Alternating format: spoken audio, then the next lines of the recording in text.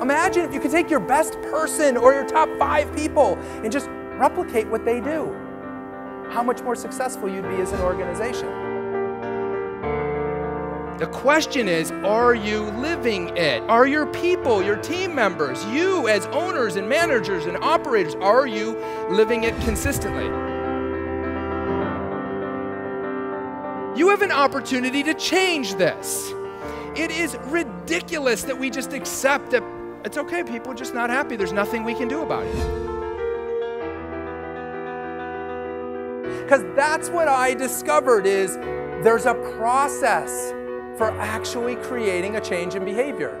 We're rationing out praise at work like there's going to be a shortage of it when we could be replicating what our best people are doing. You have an incredible opportunity to not let this engagement crisis sabotage your business. So you're in this boat race. This is what's happening in your competitors' boats. Three people are paddling like hell. Four people are in the middle of the boat, they're just kind of taking in the scenery. And then there's three people in the boat that are trying to sink it.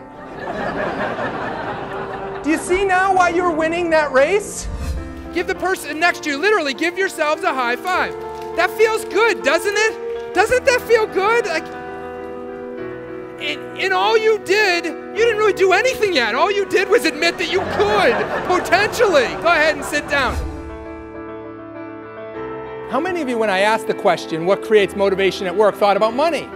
If you're focusing on money, if your people are focusing on money, you've got bigger cultural challenges that you need to address. You'll be taking a huge step towards being an even more effective and trusted leader in taking your organization on this journey to achieve brand integrity, actually be who you say you are.